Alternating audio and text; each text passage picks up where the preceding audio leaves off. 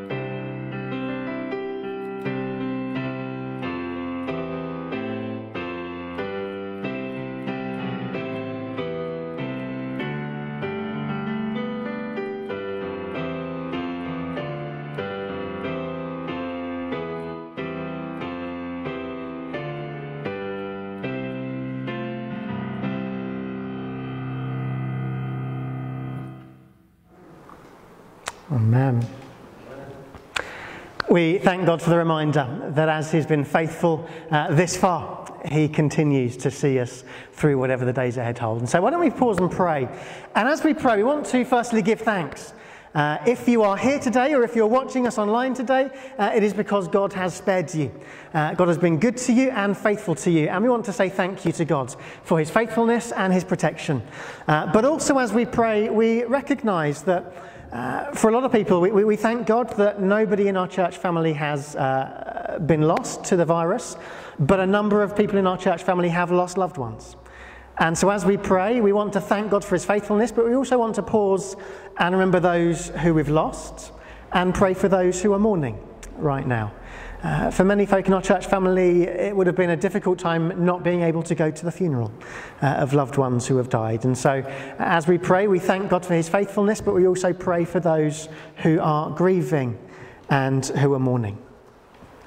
Why don't we keep a moment of silence? Uh, bring your own prayers of thanks to God, your own needs to God, and then I'll pray for us.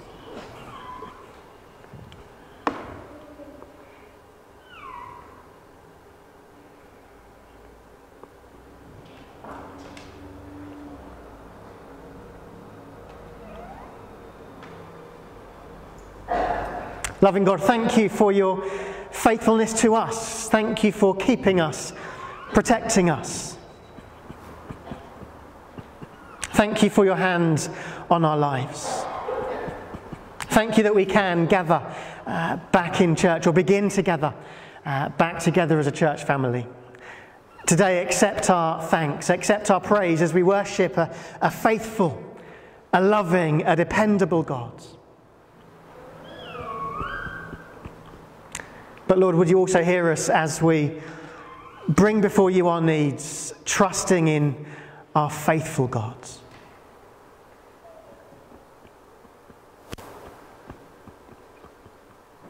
Draw near to us as we remember uh, perhaps friends or loved ones who have died.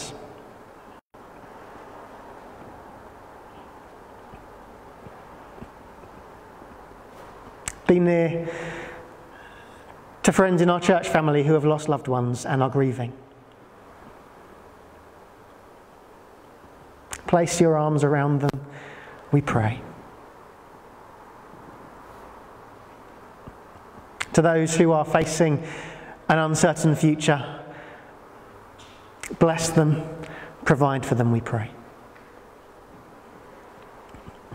For those who are working so hard uh, to combat the virus, our, our, doctors, our healthcare workers, uh, carers, key workers in whatever roles. Strengthen them, equip them, we pray.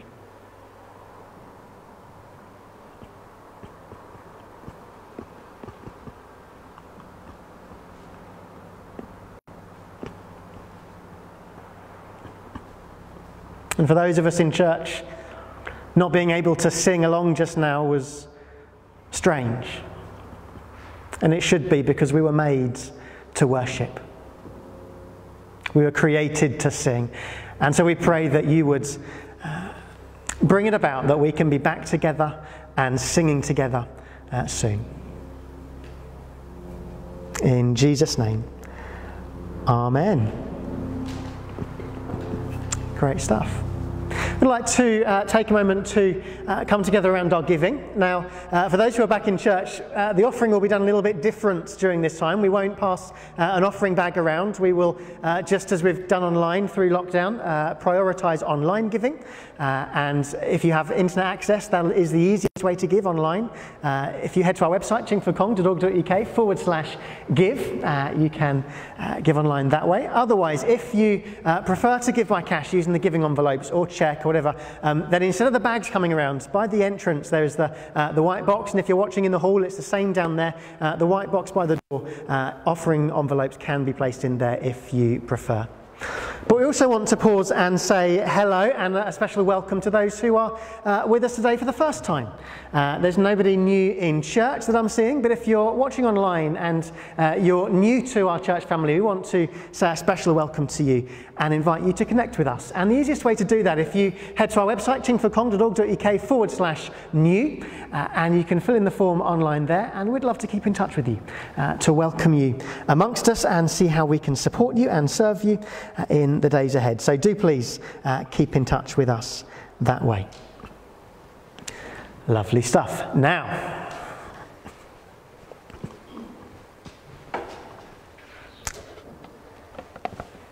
Who likes my friends?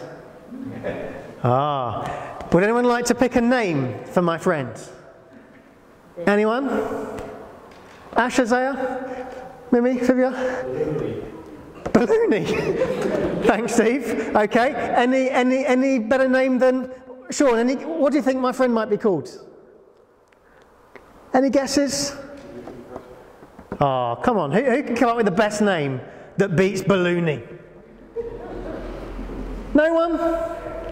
John. John. Joyce?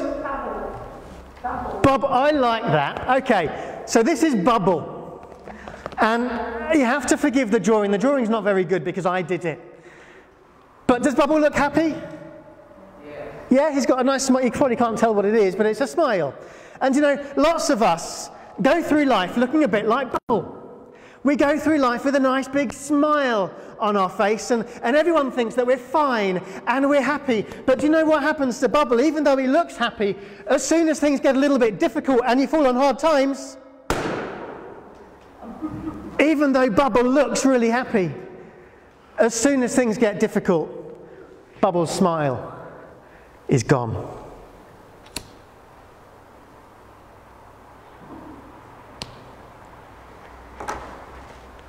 But here's, if we had Bubble, should we call him Ben? Squeak. Squeak. Bubble and Squeak. He looks just as happy, doesn't he? He's got the same smile as Bubble, and he goes through life looking like everything's good. And, but there's something different about Squeak. Because when Squeak goes through hard times, oh, okay.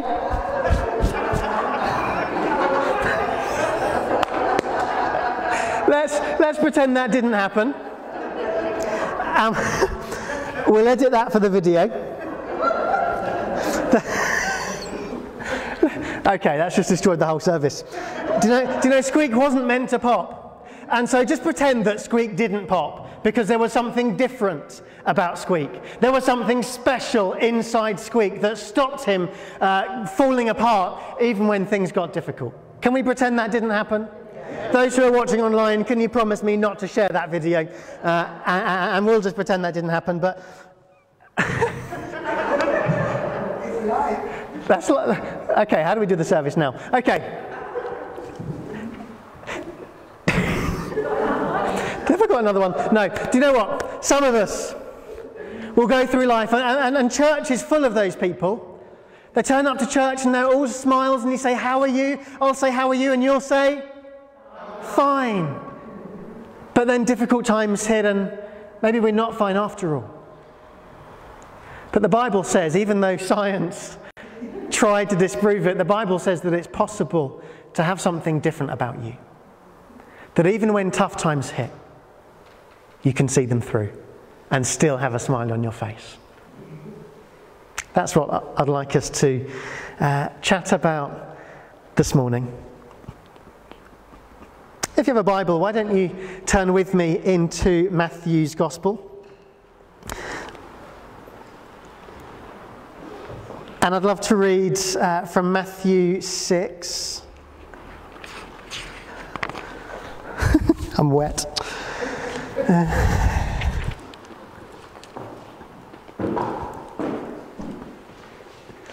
Matthew 6, and I'll read from verse 25 to 34.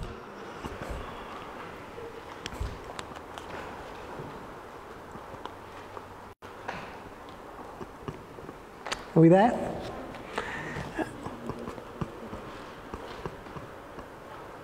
Jesus says, That is why I tell you not to worry about everyday life, whether you have enough food and drink or enough clothes to wear. Isn't life more than food and your body more than clothing? Look at the birds. They don't plant or harvest or store food in barns, for your heavenly Father feeds them.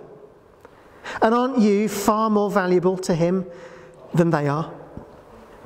Can all your worries add a single moment to your life? And why worry about your clothing? Look at the lilies of the fields and how they grow. They don't work or make their clothing. Yet Solomon, in all his glory, was not dressed as beautifully as they are. And if God cares so wonderfully for wildflowers that are here today and thrown into the fire tomorrow, he will certainly care for you. Why do you have so little faith? So don't worry about these things, saying, What will we eat? Or what will we drink? Or what will we wear? These things dominate the thoughts of unbelievers, but your heavenly Father already knows all your needs. And so he says, Seek the kingdom of God above all else and live righteously and He will give you everything you need. So don't worry about tomorrow, for tomorrow will bring its own worries. Today's trouble is enough for today.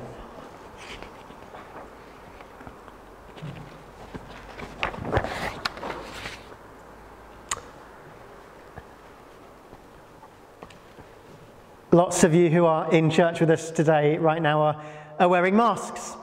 Uh, if you're watching at home, you get saved having to wear the masks. But masks right now are important. They may not be comfortable, but they keep us safe. I never thought I would find myself walking into a bank with a mask on. I thought I'd chosen a different path in life. The staff in NatWest in Chingford may have expected someone to walk into the bank with a mask on at some point in their career, but they, they didn't expect it to be the local pastor. When I walked into NatWest with a mask on, it was to give them money, not to demand it, but I never expected to walk into a bank with a mask on. Do you know, one of the difficult things with wearing the masks is that I can't see what is behind your mask. I can see your eyes. I can't see whether or not you're laughing at my jokes. It sounds like you're not. Nothing new there. I can still see when you're sleeping, but I can't see a lot else. I can't see whether you're happy, whether you're sad, whether you're stressed, whether you're uh, yawning, it won't last forever. So I try not to. But it's hard to see behind the mask, isn't it? If you have a conversation with someone that's wearing a mask, it's difficult to pick up on the, all those non verbal cues. You see, right now, there is a physical barrier hiding your face. There is a physical barrier hiding any emotion that you might otherwise display. But I wonder how often do we also hide behind unseen masks? How often do we go through life and say, I'm fine, when maybe we're not? And so, how are you? How are you really today? Behind the mask, both the physical mask if you're wearing one, and behind the, the, the unseen mask that we all wear. How are you? How are you feeling? Maybe some of us will be feeling despair right now. Who's feeling tired? I am. A few hands. Some of us feeling tired. Who's lost a loved one during this time or a friend?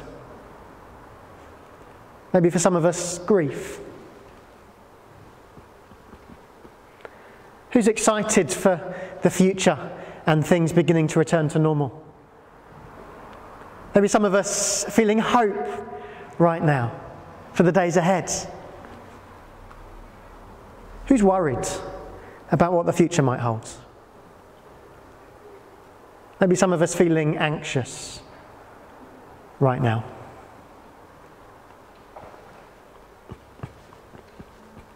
Our emotions are natural, they are God given. But the problem comes when our emotions control us instead of us controlling our emotions. Today, I'd like us to think briefly about anxiety. Over the next few weeks, we're going to be going through a series called Behind the Mask. What is really happening behind the physical, but also the unseen mask? How are you, how are you really? And we're going to look at each of these uh, emotions and what does the Bible have to say about each of them? Uh, today, I'd like us to think about anxiety. Anxiety is a big one. Who's ever been worried about anything? The future, the present? All of us.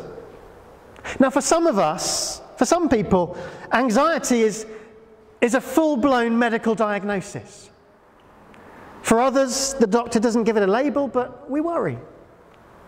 Some of us are anxious maybe about jobs, or our health, or finances, or our family, or things at school, or relationships, or things we turn on the TV or the news on your phone and you see what's happening in the country or in the world around us. Uh, we see uh, leaders or, or the lack of leaders, and it makes us worry.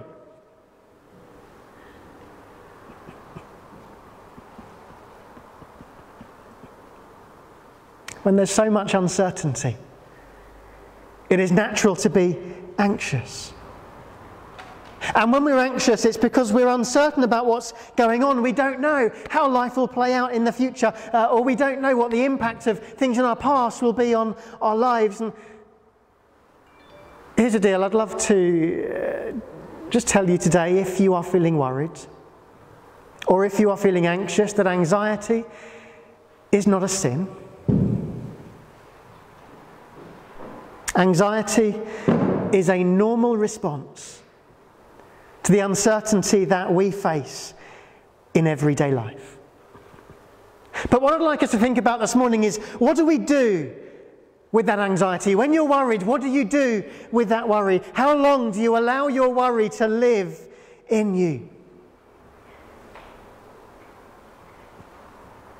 Anxiety, one person said, is a fear of not being in control. What do you do with that? Proverbs 12, verse 25. I love these words. It says, Worry weighs a person down. An encouraging word cheers a person up. Worry weighs a person down.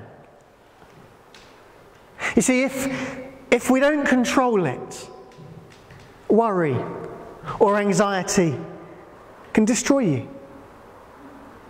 It can destroy your entire body. It can make you ill. It can consume your mind. What do we do with worry? Just a couple of other verses I'd love to uh, share with us. 2 Corinthians 10, verse 5. Paul writes that we destroy every proud obstacle that keeps people from knowing God. We capture rebellious thoughts and teach them to obey Christ. Now, the context of that verse is slightly different, but the principle is valid. The Bible suggests that we can control how we think. The Bible says that we can control what we do with our thoughts, that we can take them captive and make them obedient to Christ. Isn't that great? Here's what, here's what else the Bible says 1 Timothy, uh, sorry, 2 Timothy 1, verse 7. Paul writes to Timothy, you'll know these words that God has not given us a spirit of what? Fear, but of power, love, and self discipline. I'd like to invite you to this morning take control of your thoughts. Let's go back to our reading. If you've got the Bible, it was Matthew 6, 25 through 34. And do you notice in those words that Jesus doesn't deny that worry or anxiety exists? He recognized that it does, but here's what he makes clear two things. Number one, worry does nothing. Look with me, verse 27. Matthew 6, verse 27. Jesus said, Can all your worries add a single moment to your life? And he asked it as a hypothetical question, but the answer is no. For people watching on video, I promise you there are people in church. They're just quiet. It's a hypothetical, hypothetical, ah, hypothetical question, but the answer is no. There we go. Worry does nothing. The second thing Jesus says is that when we trust in God, trust in God diminishes worry. Look with me, verse 32. These things, worrying, it says, dominate the thoughts of unbelievers, but your heavenly Father already knows all your needs. He says, so seek first the kingdom of God above all else and live righteously, and He will give you everything you need. Jesus says, worry doesn't do anything, but if you trust in God, that can take away our worry. But you know what I'd like us to look at this morning is how this passage starts. Look with me in verse 25.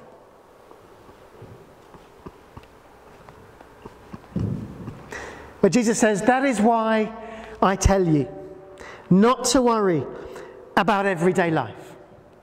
That is why I tell you. Why? What is why I tell you? When we get to something like that in the Bible that says therefore or and so or that is why I tell you, what do we do? We look up. And so uh, in your Bible, look with me, look back, look up. Let's flick back a page and look in the beginning of uh, Matthew chapter 5. One day, as Jesus saw the crowds gathering, he went up on the mountainside, sat down, his disciples gathered around him, and he began to teach them.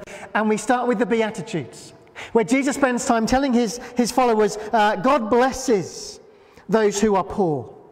God blesses those who mourn. God blesses those who humble. Uh, God blesses those who search for justice. God blesses those who are merciful. Uh, God blesses those who work for peace. God blesses those who are persecuted. God blesses, God blesses, God blesses.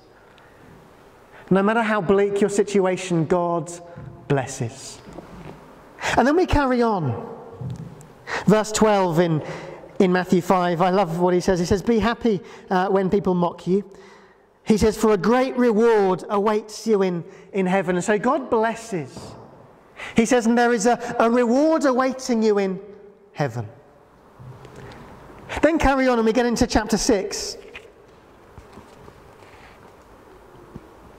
He's still talking to his uh, followers in what we call the Sermon on the Mount. And uh, he starts chapter 6 talking about giving. And chapter 6, verse 4, he says, Give your gifts in private, and your Father, who sees everything, will reward you.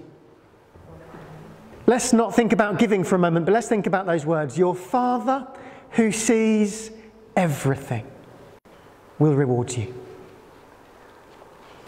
Verse 6 he says again, but when you pray, go away by yourself, shut the door, and pray to your Father in private. Then your Father, who sees everything, he says it again, will reward you. If the Bible says something, we need to know it. If it says it twice, we definitely need to know it. Your Father, who sees everything, will reward you.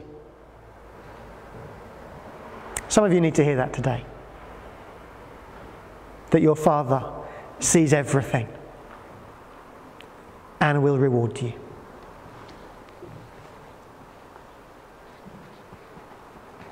Let's carry on. Still in chapter 6, verse 8.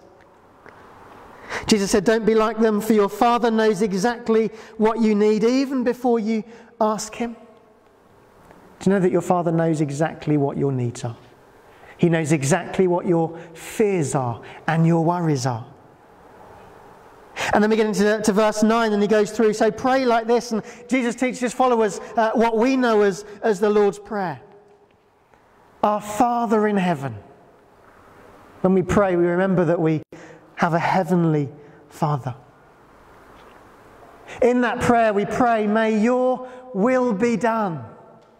It reminds us that God has a, a plan, a purpose for us and for our world.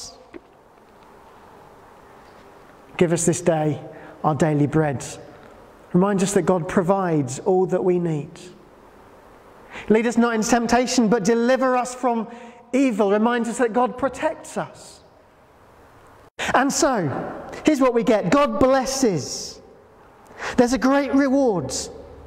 Your Father sees everything and will reward you. Your Father knows everything that you need and all that you face. You have a Heavenly Father who has a plan and a purpose for your life and the world that you live in. You have a Heavenly Father who promises to provide for all your needs and to protect you.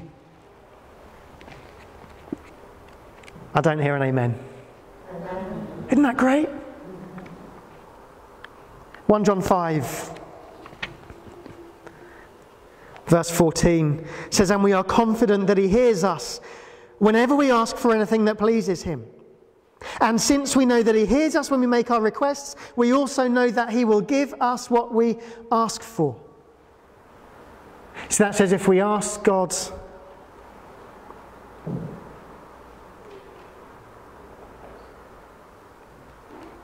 When we ask for anything that pleases Him, God answers that prayer. Here's the deal God will answer the prayer that He told you to pray, the prayer that acknowledges Him as Heavenly Father, the prayer that says, I know you have a plan for my life, I want to see it, because right now I'm struggling to see it. The prayer that says, This is what I need, God, will you provide? The prayer that says, This is what I'm facing, will you protect me? They are prayers that God told us to pray, and so we know that it pleases Him, and so we know the Bible says that God will answer that prayer. Back in today's reading, this is why I tell you not to worry. Isn't that great? Because we have a Heavenly Father who blesses us who rewards us, who sees everything, who knows what we need, who, who has a plan for our life, a purpose for our life, who, who provides for us, who protects us. Therefore, says Jesus, don't worry about tomorrow. What's tomorrow got in store that your Heavenly Father can't deal with? Can I invite you today to choose to focus? No. You have a choice today. You can choose to either focus continually on your troubles and things you can't control, or you can choose to focus on the promises of God, the provision of God, the protection of God, the presence of God. Why don't we pray? As we pray, can I invite you to bring before God whatever things cause you worry? Whatever perhaps you are anxious about right now.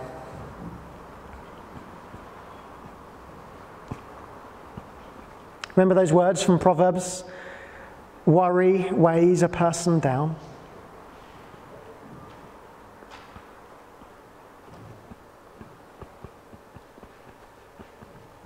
What's weighing you down right now?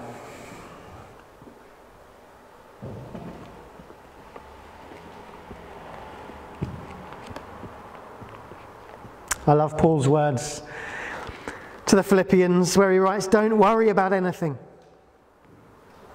Instead, pray about everything. Tell God what you need and thank Him for all He has done. Then you will experience God's peace, which exceeds anything we can understand. His peace will guard your hearts and your minds as you live in Christ Jesus.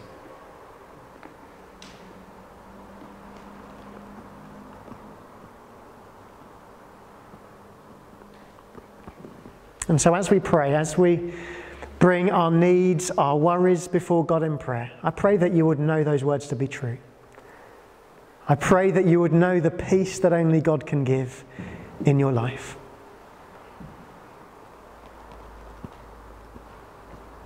Let's pray.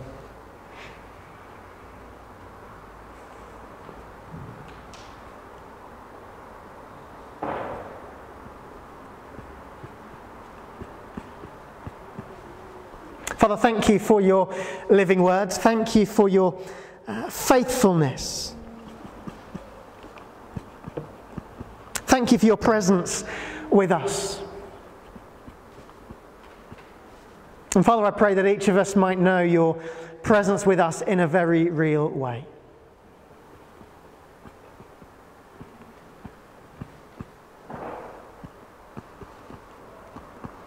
Whatever worries might be weighing us down. As we bring them before you right now, would you take them from us?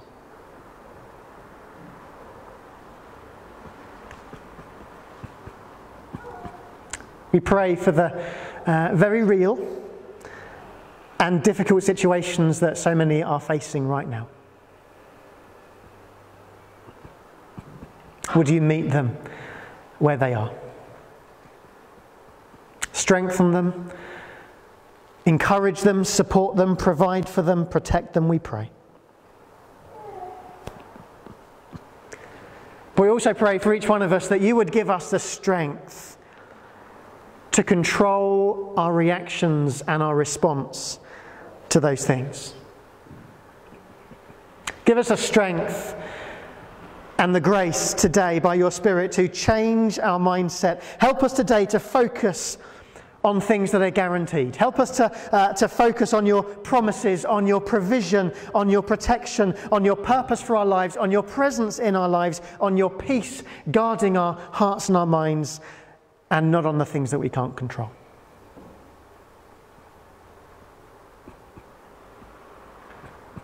Work in us right now by your Spirit, we pray.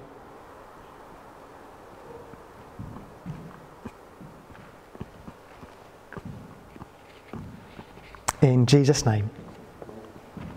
Amen.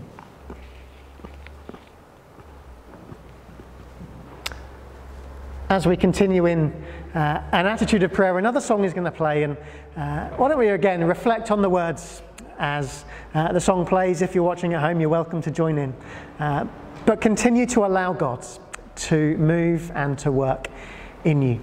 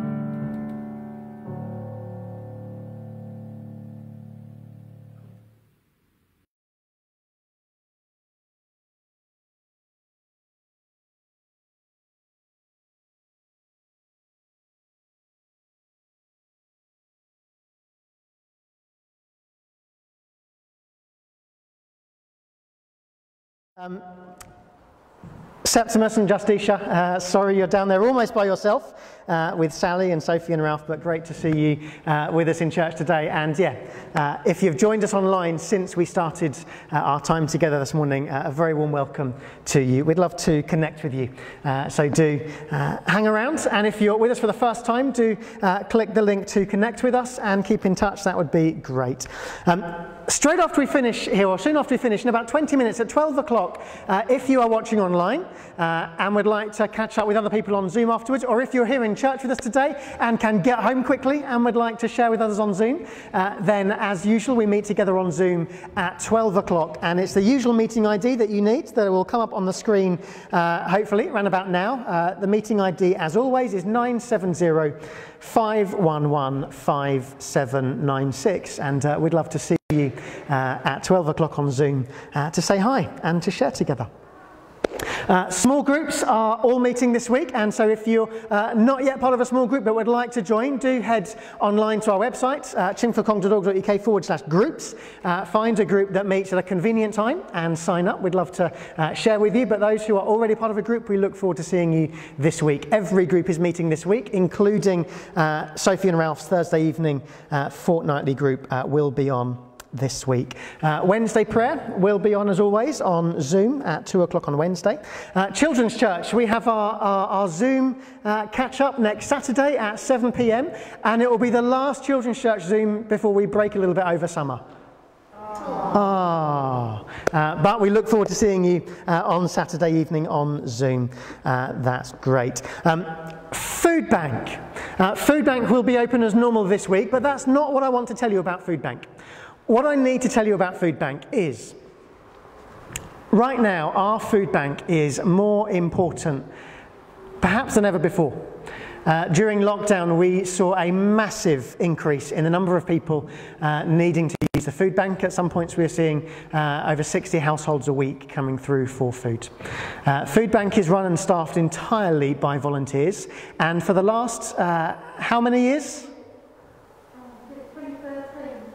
What's that, seven, for the last seven years has been uh, run by Julia. And she's a great job of leading our food bank, and we're so grateful to her. Um, Julia has uh, decided that now is uh, as good a time as any to have a bit of a rest. Uh, and that she would like to take a step back from running the food bank. Um, and so, I put it out to us as a church that we are recruiting. Uh, we are on the lookout for uh, someone or some people uh, who perhaps feel a calling uh, to help serve in our food bank, if you could, uh, if you might be interested in helping to uh, facilitate and organise and run our food bank, doesn't mean that you have to do everything, but to make sure that everything is done uh, and perhaps take on some of the admin stuff uh, so that Julia is able to step away uh, from the work that she's been doing for the last seven years. Please do speak to myself or Julia uh, if you'd like to find anything out uh, or if you might be uh, able to help us by serving in the food bank. One other thing, we're back as normal next Sunday, so we'll be in church as well as online. And so if you would like to be in church with us next week, we repeat the same cycle. If you don't have access to the internet, the uh, phone uh, registration will open again tomorrow morning. Uh, so do phone the church anytime from tomorrow if you'd like to come to church next Sunday, but you don't have internet access. And if there's no one here, leave a message uh, with your name and your phone number and how many people would like to come. And if you have internet access, the online registrations will open again next week, Thursday. Thursday uh, for next Sunday. Has anyone else got anything exciting to share? I've not been able to do this for weeks, for months. Uh, have I missed anything? Anyone got news? Uh, no? Uh, you're boring lot. Okay. Uh, in which case, uh, we'll, we'll, close and uh, look forward to seeing you uh, very soon, either in a small group during the week or next week back in person. But until we see you again, may the blessing of God Almighty, the Father, the Son, and the Holy Spirit be with you and remain with you always. Amen. Have a lovely week.